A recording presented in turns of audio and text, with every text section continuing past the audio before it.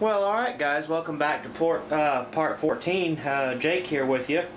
Uh, just going through, um, to kind of catch you up, I've gone through and done my um, uh, inner ring of my saucer and uh, now I've gotten most of the um, Aztecing laid on minus these two pie wedges here.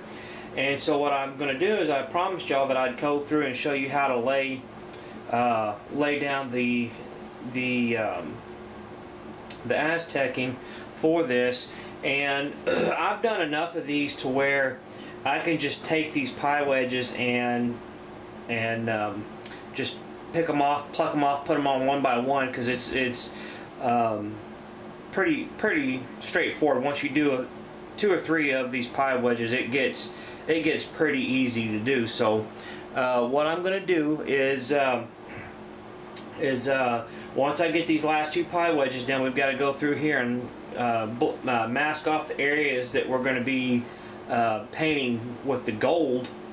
And uh, I'm going to go uh, with you um, and I'm going to paint um, with my high volume, low pressure uh, paint gun and use blue all over, you know, for the main, for the primary color and then uh, gold. Uh, I'll do that off camera once all this dries because I'll have to go through and pluck all these off and all, all that kind of stuff and and uh, once I get all that done I can go through and start laying down my uh, tertiary colors and um, you know my for my red and the green. So uh, what I'm gonna do now is uh, get this moved in. I'm gonna zoom in here for you uh, make sure you're in frame here. so what I'm going to do is I'm going to peel off uh, I'm going to peel off this section here which is uh, goes right here. So I'm going to get this peeled off and get it going.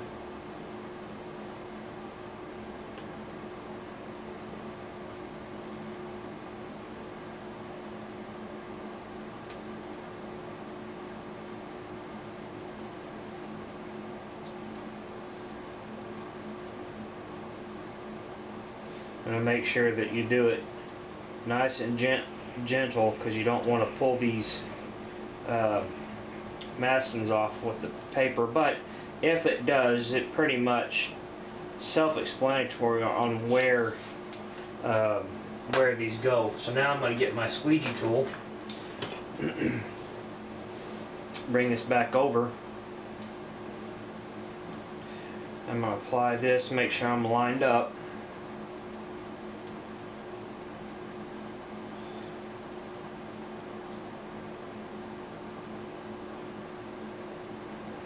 Alright, that's good there. So I'm going to kind of flatten it out a little bit.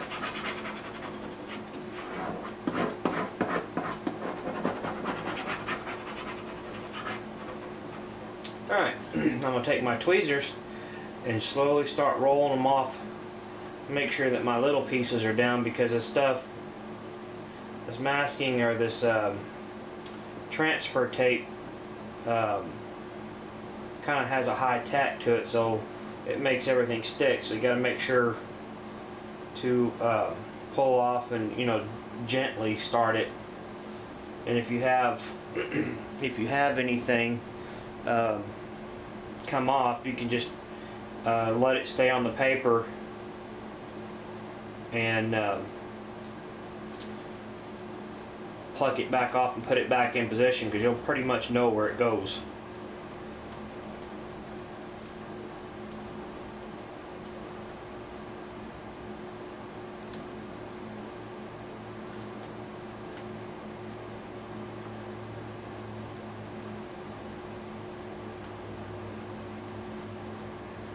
First time I did this, it was kind of intimidating. Because you didn't know how hard to push, how fast to pull back, all that kind of stuff. And it, a couple of times, I've built this this uh, this ship a couple of times, so I kind of pretty pretty much know what it's about.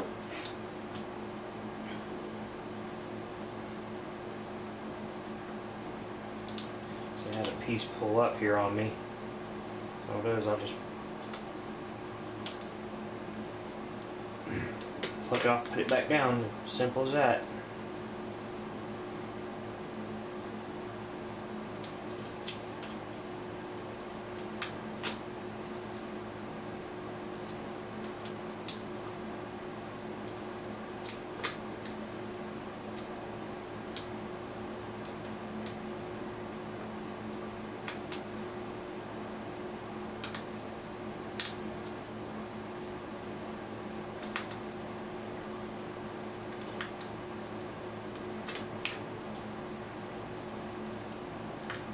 Alright, there's that one. Now I'm going to take this piece because it kind of slid up on me and just kind of readjust it.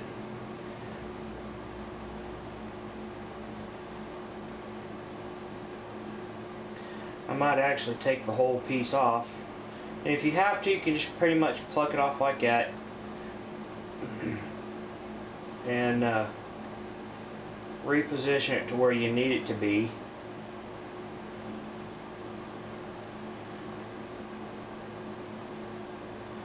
You can do this a couple of times before it starts losing its tackiness. Sorry, sorry for the pun there.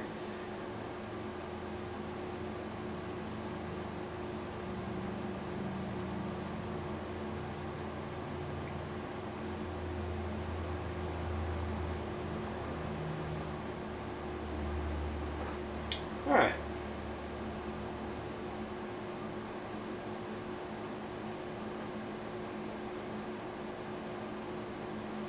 There's that one. So you can see how see how easy that one rolled on. So now we'll go back and do this last pie wedge here.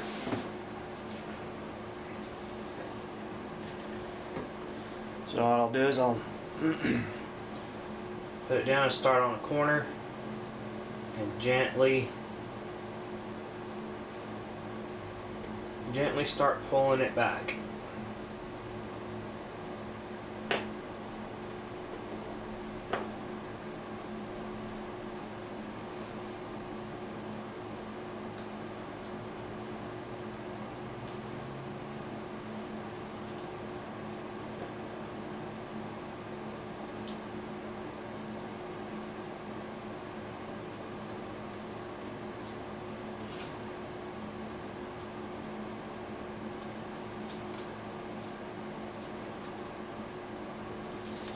Alright, there's that.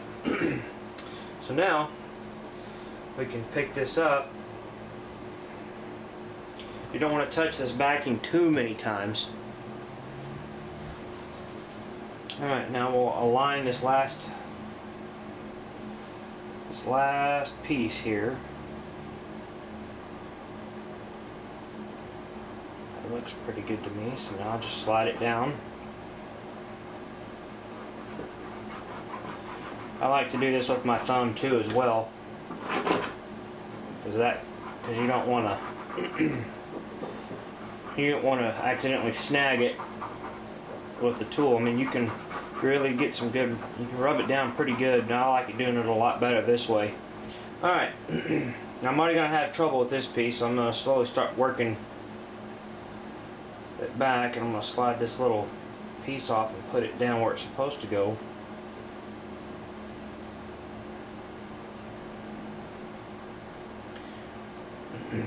Do the same thing here with this other little square. I'm just going to set it down there because when I get through I can come back and and uh, fix it. So now all I got to do is just start rolling it back.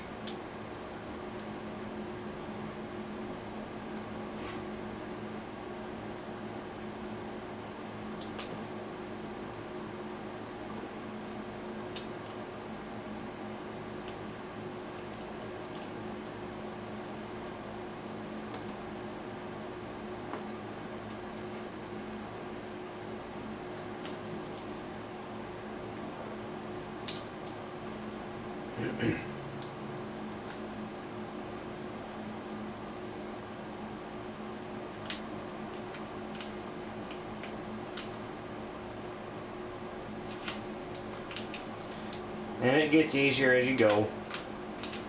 I tell you what though, I, I will say this, this is the easiest of doing the, the all, you know, I've done several of the 1 1000 scale ships, and I'm telling you, uh, orbital dry dock doesn't go that small on his on his um, masking, so you have to use Aztec dummy. And Aztec dummies uh, masking does not have this transfer method uh, with his. You basically have to pluck them off one by one, and I I will tell you the refit and the Reliant uh, are easy. Now I'll say the Reliant gets a little harder because it's a little bit smaller, but the uh, when you get down to doing the Excelsior, the 1 1000 Excelsior, I mean they are microscopic and I, I will tell you that they are difficult so when you're doing this and then you go do a um, 1 1000 scale ship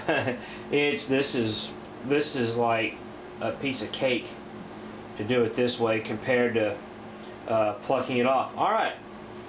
Those two pieces are on. So now I'm gonna back out and uh, I'm following the Trek Modeler guide here. So what I'm going to do is um, go through and I've gotten all these done around here. Now we're just down to the last two pie wedges. So um, which are right here. And uh, so you can see we have one that's a step down. So we have our four our four um, well you're out of frame again. Hang on. Let me uh, there we go. So you can see we have our four our four pieces and then it says to skip a piece so we're going to skip a whole section right here and then go to go to this one which gets two pieces one down here at the very bottom and then this piece here. So I'm going to get my uh, uh, my uh, tape Kamoi tape and uh, what I'm going to do is I'm going to like I said I'm going to skip that one and go to this one. And the very bottom one gets one um, with this tape, uh, any tape that you're putting over this um, mask, you have to be very careful when you're doing. So what I do with this, and a lot of people will disagree, is I kind of put it on my pants and pull it up off a little bit to kind of take some of the tackiness away. Uh, simply for the fact that uh, you don't want to really pull up all your all your masking with this. So what I'm going to do is I'm going to slot start it at the edge right there. And yeah it's going to look a little rough but in the end in the end it'll look all you know as long as there's no spots to where um, you get your other base you know your base coat down. So now I'm going to put this little piece.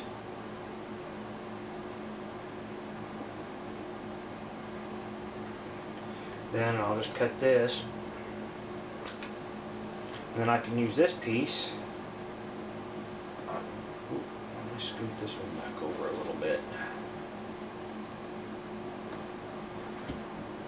So that one's ready to go.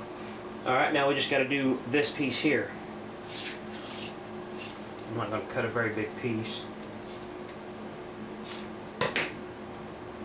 And with this with this uh, uh, Kamoi tape, um, I dog ear it because of the fact that it's hard to get off when you when you put it on. You know when you seal it back down. So I'll line this up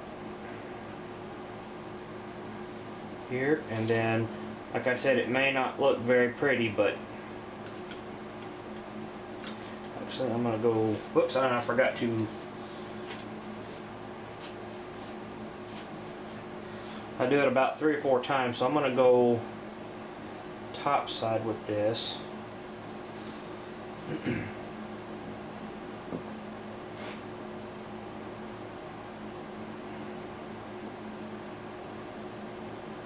and I follow the uh, trenches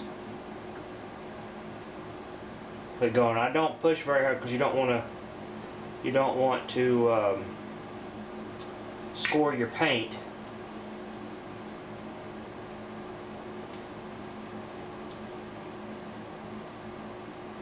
now I'll take this side and block it off.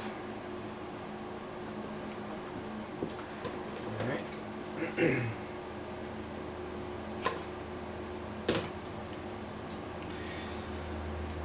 A little piece there that needs to be cut off, but we'll take care of that. Just pretty much as simple as that.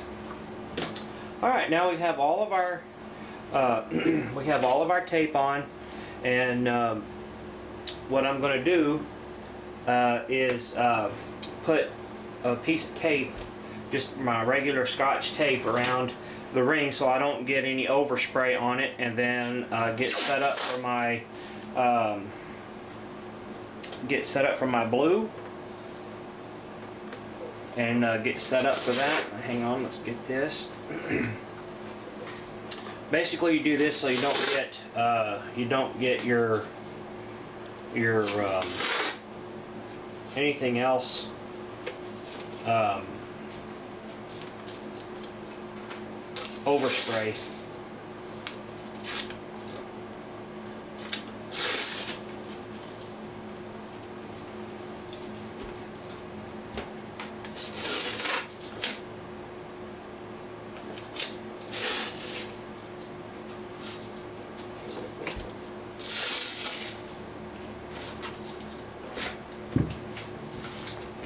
Like I like I said in the past, you're gonna go through a bunch of tape when you do these type of models. If you want it to look real good, you're gonna have to you're gonna have to learn to to go through a bunch of models, and I'm gonna roll that roll that up, and then I got to fix a little area right here, just a little bit of tape.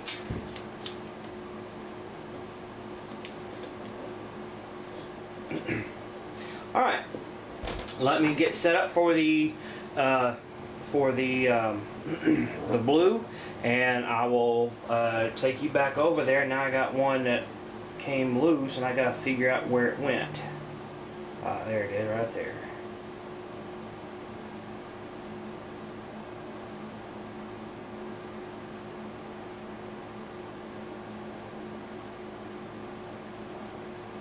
and that folks you're gonna have problems with this and I, I guarantee you're gonna have uh, I'm not going to say it's going to be an easy easy task doing this because of the fact that some of these pieces are real small and I do notice that uh, on these on these ships especially around the nacelles uh, around the base of the nacelles um, let me grab one real quick. I will tell you that around here uh, and around here uh, in this area, you're going to have problems with this uh, masking because it's not going to want to stick. It has a very low tack.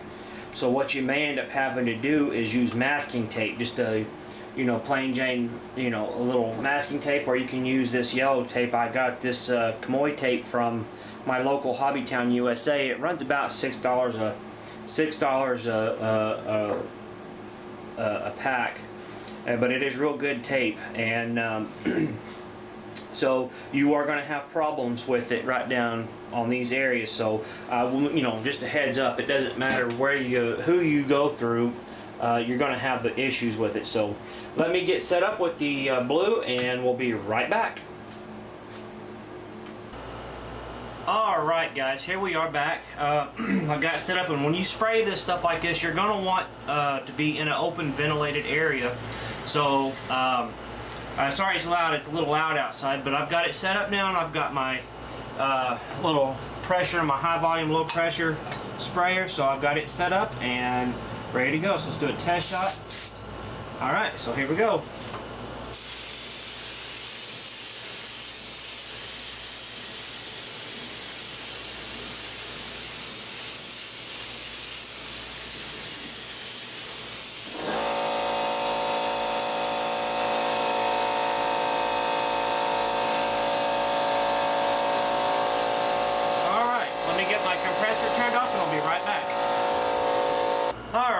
guys, welcome back. Sorry, I had to uh, turn my compressor off, and I didn't want it to be loud. But as you can see, I got a nice, uh, nice even, nice even coat of blue on there. Um, the reason why I did it this way is because of the fact that if you use your use your uh, airbrush, you might have a little bit of trouble with uh, getting um, getting um, an even coat. So that's why I did that, and I learned that off of Boyd from Trekworks. And it looks like I may have to spray this little area right here one more time. So uh, let me take care of that, and I will be right back with you. Stay tuned. Alright guys, welcome back. Uh, now we've got all of our all of our um, um, painting done. We'll give this a quick force dry with my heat gun.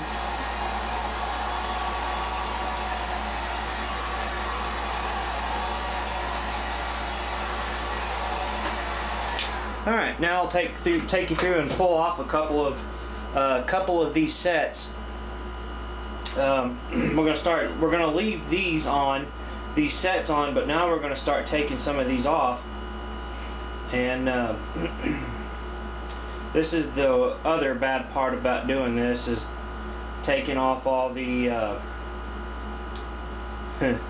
taking off all the uh, all the pieces. So all I'll do is go through here and cut cut this right here.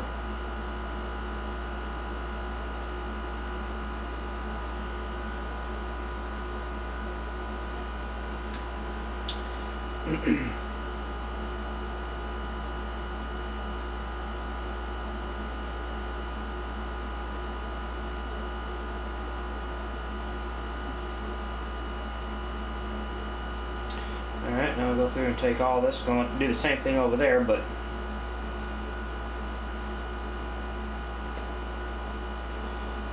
believe me, this is, like I said, this is a lot, uh, a lot easier to do than the 1 1000 scales.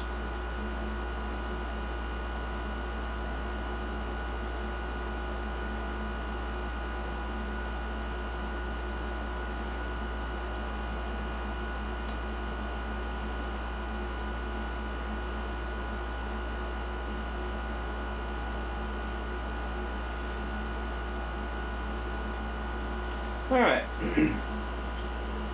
I got a couple of those taken off. Let me zoom in and show you.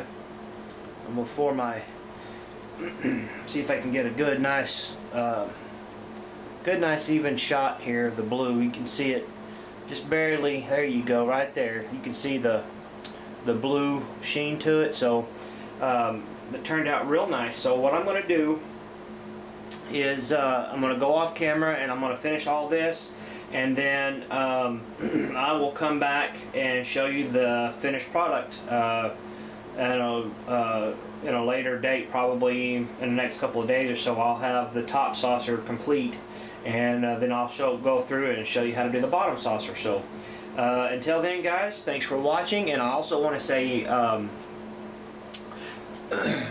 say thanks to uh, everybody. Hang on, let me turn the camera around so you can see me here.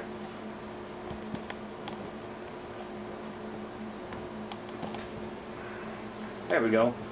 Uh, I just want to say thank you to uh, all of my my uh, Facebook uh, friends. Uh, they've been supportive.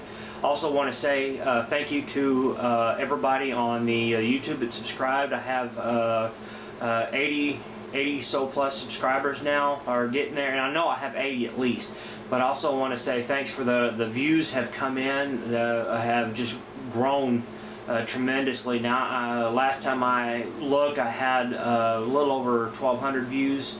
Uh, now I'm on the plus side of 1300 views so I, I appreciate that. The, uh, the channel's growing. I should you know appreciate all the supporters that have come out uh, and, and you know visited the channel I hope to continue to help everybody doing this. Um, like I've said in the past, if you have any questions, you can email me at jdemco80 at gmail.com and I will try to put that up on my my uh, screen uh, screenshot for you or you can uh, get in contact with me through Facebook, uh, Jake Demko, or um, you can uh, you know uh, contact me through YouTube. So if you have any questions or if you have any ideas that you might want uh, you know me to do or something you might want me to see you know see me do on the channel, just let me know. I'll be more than happy to uh, work with you and, and answer any questions you have. So um, I want to say again thanks to my good buddy Ralph at Tenant Controls uh, for sponsoring me, and um, and uh, I want to say thanks to uh, everybody out there that supplied me with these uh, with these wonderful uh, materials that we're using for these kits. So uh, until then, everybody, um, I want to say thanks to uh, thanks to everybody, and um, again. Um, thanks to all my followers, I appreciate it. we've come a long way on this channel, so after this project is over, I've got another one starting up uh, that's going to be kind of a uh, another surprise. It's, it's another 350 build, but we're kind of changing things up on that one as well. And I'll take you through some of it. I'm not going to do a whole lot with that video uh, build-up series because it's kind of the same as the 350 that I'm doing now. Basically, just changing up different colors a little bit and um, the ship has been altered a little bit so it's gonna be it's gonna be kind of cool to, to do. So uh, we'll take you through some of that and uh, do some follow-up videos through that. And then uh, once I get through with that one uh, I've got uh, a couple of small ones but then I've got um, uh, coming down the line I've got a Klingon Bird of Prey 1350 and then I've got the 1677 scale USS Voyager that I'm going to be working on. I'll go through a video build up on that one. I've also got the Defiant uh, be coming down the line and also I have um, the Enterprise D which is the uh, 1 350 scale version of, or 1 1400 scale, sorry. And that one is a clear model, uh, molded in plastic, clear plastic. So if you've seen uh, Boyd over at Trekworks, he's done that one. Um, and uh, so we're going to be kind of through going through and and uh, working on that one a little bit. So we're coming, we're staying busy, folks, and uh, so uh, I do. Uh, you know, if you need anything done, just let me know. Uh, I will be more than happy to contact me. You know, be more than happy to contact me, and uh, we'll go from there. So take it easy, and until then, folks, have fun modeling and take care. We'll see you down the line.